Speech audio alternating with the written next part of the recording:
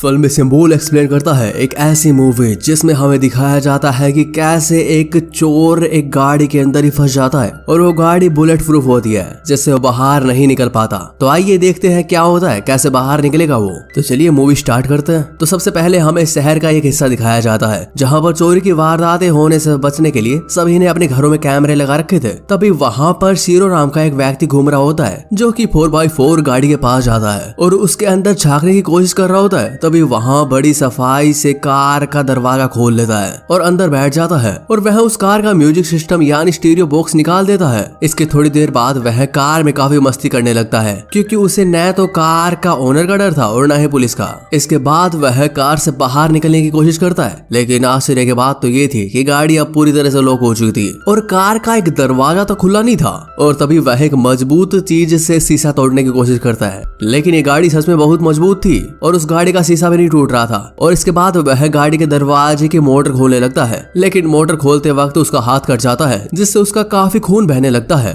इसके बाद वह कार को नीचे से देखता है कि उसके बेस को तोड़कर वह वहाँ से निकल सकता है। लेकिन यहाँ भी उसकी कोशिश नाकामयाब होती है और वह इसके बाद अपनी गन निकाल लेता है और सीधे कार के शीशे पर फायर करता है। लेकिन तभी गोली शीशे से टकराकर उसके पैर में लगती है, जहाँ पर उसका पैर बुरी तरह से जख्मी हो जाता है और वह अंदर से काफ़ी परेशान होता है, क्योंकि उसे बाहर निकलने का कोई रास्ता नहीं मिल रहा था। तभी वह अपनी शर्ट उतारता है और पैर पर बांधने लगता है, क्योंकि उसके पैर से बहुत तेज खून बह रहा था। इसके बाद वह अपना मोबाइल निकालता है और अपनी वाइफ को कॉल करता है, लेकिन उसके फ़ोन की बैटरी लो हो चुकी थी, जिसके कारण वह बहुत ज़्यादा दुखी हो जाता है। इसके बाद वह ज़ोर ज़ोर से चिल्लाने लगता है, लेकिन गाड़ी के बाहर से वह किसी की आवाज़ सुनाई नहीं दे रही थी, और लोग उस कार की तरफ़ बाहर से ही देखकर गुजर रहे थे। इसके बाद रात हो जाती है, और वह बिना कुछ खाए पिए इस कार में टाइम स्पेंड करने लगता है, और अगले दिन जब सुबह होती है तो वह काफ़ी बुरी हालत में होता है, क्योंकि वह कार में बुरी तरह से फंसा हुआ था और उसने कुछ खाया पिया नहीं था। इसके बाद वह सोचता है कि उसे कुछ ना कुछ करना होगा, नहीं तो वह कार के अंदर ही मर जाएगा। तभी वह कार के स्टीरियो सिस्टम को वापस सेट पर लगाता है और वह चालू हो जाता है। इसके बाद वह कार में ज़ोर ज़ोर से गाने बजाने लगता है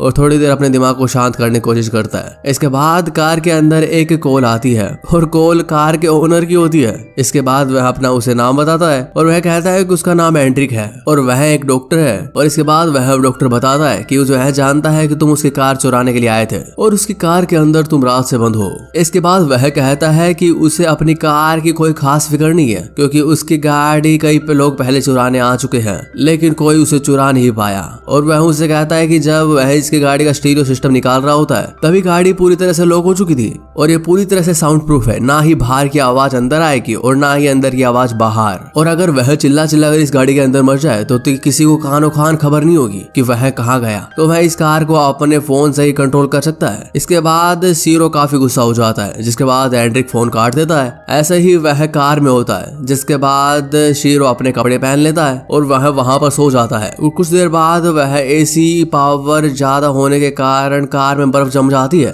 और थोड़ी देर बाद सुबह हो जाती है। इसके थोड़ी देर बाद एंड्रिक का फ़ोन वापस आता है और वह उसे पूछता है कि अगर तुम्हारा बेटा चोरी करते हुए पकड़ा जाए तो तुम क्या करोगे? और वह उससे कहता है कि मैं उसे पुलिस के पास ले जाऊँगा। तभी एंड्रिक उसे कहता है कि नहीं, तुम्हारे बच्चे को सिर्फ़ तुम ही सुधार सकते हो। और तुम्हारा जवाब बिल्कुल गलत है। तुम्हें तो जरा सी भी शर्म नहीं है कि तुम्हें दिन दहाड़े किसी की कार में चोरी नहीं करनी चाहिए। इसके बाद सीरो को अफसोस होता है और वह कार के अंदर ज़ोर ज़ोर से चिल्लाने लगता है। क्योंकि उसका जवाब गलत था तो उसे पानी की बोतल भी नहीं दी जाती। इसके बाद सीरो वहाँ पर आने वाले बाहर लोगों को देख रहा था। तभी वहाँ पर एक पुलिस की गाड़ी आती है और वह उस शीशे पर ज़ोर ज़ोर से मार कर मदद मांगने लगता है। लेकिन पुलिस वाला कार के शीशे पर चालान चिपका कर चला जाता है और क्योंकि उस कार के शीशे काले थे तो इससे कुछ नहीं पता चलता और वहाँ पर बारिश होने लगती है, जहाँ पर सीरो पूरी तरह से अंदर फंस जाता है और प्यास मर रहा होता है और वह बाहर का नज़ारा देखकर बहुत ज़्यादा दुखी होता है। इसके बाद एंड्रिक का फ़ोन आता है और वह उससे उसकी आईडी और सब कुछ माँगता है, जिसके बाद सीरो उसे सब कुछ बता देता है। इसके बाद बदले में उसे पानी की बोतल मिलती है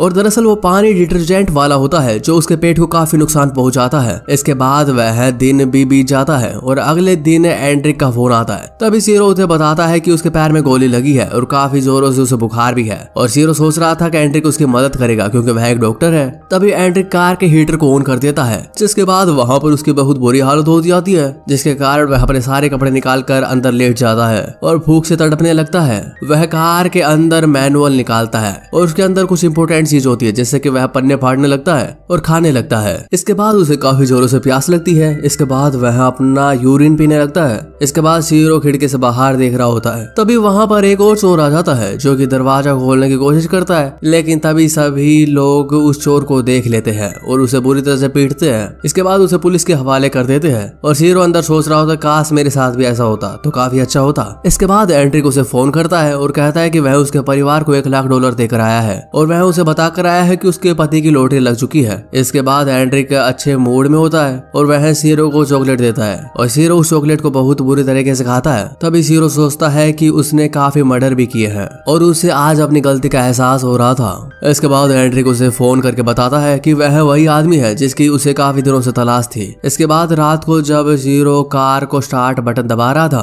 तभी कार अचानक से स्टार्ट हो जाती है, और वह इसके बाद कार के गियर बदलने की कोशिश करता है, लेकिन कार लॉक होने के कारण वह रिवर्स में खड़ी थी, और वह एक्सीटर प्रेस कर देता है, जिसके बाद कार पीछे चली जाती है, और वह क्रैश हो जाती है। इसके बाद सीरो आज़ाद हो जाता है और वह किसी रेस्टोरेंट में चले जाता है और वहाँ पर भरपेट खाना खाता है, लेकिन तब एक गार्ड उसे पकड़ने के लिए आता है। तभी वह उसे अपनी गन से शूट कर देता है। तभी सीरो कार में आकर वापस बैठ जाता है और सुसाइड करने की कोशिश करता है, लेकिन वह सुसाइड नहीं कर पाता।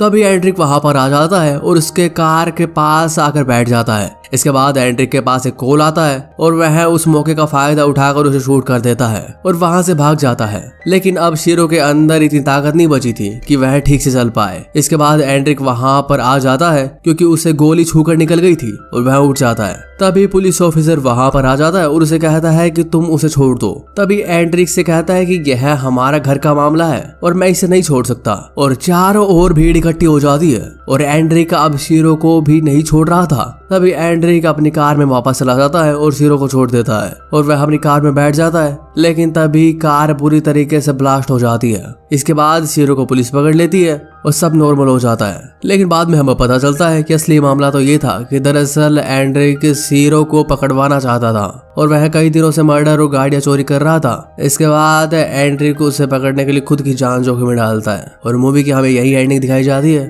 उम्मीद है कि आपको एक्सप्लेनेशन पसंद आई होगी और ऐसा ही एक्सप्लेनेशन के लिए चैनल को सब्सक्राइब ज़रूर कर ले।